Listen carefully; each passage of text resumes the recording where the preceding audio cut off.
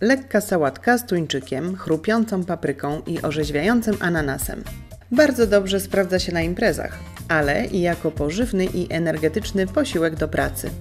Polecam i zapraszam na mojego bloga www.talerzpokus.tv. Czerwoną paprykę kroję w kostkę.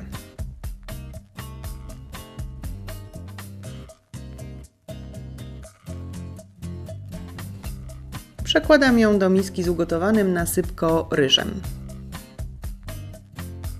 Teraz dodaję kawałki tuńczyka odsączone z zalewy. Delikatnie je rozdrabniam, ale nie za bardzo. Ananasa kroję w kostkę.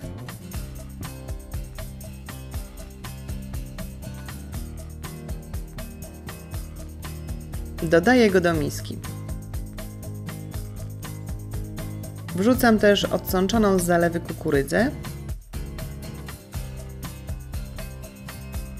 i delikatnie mieszam sałatkę.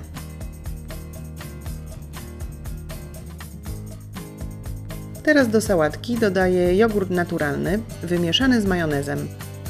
Doprawiam ją solą, świeżo mielonym pieprzem i wciskam czosnek. Sałatkę jeszcze raz delikatnie mieszam i zostawiam do przegryzienia. Można zrobić wersję dietetyczną, bez dodatku majonezu, ale przyznam, że z nim sałatka bardziej mi smakuje. Jest pyszna, a po inne sprawdzone przepisy zapraszam Was na mojego bloga www.talerzpokus.tv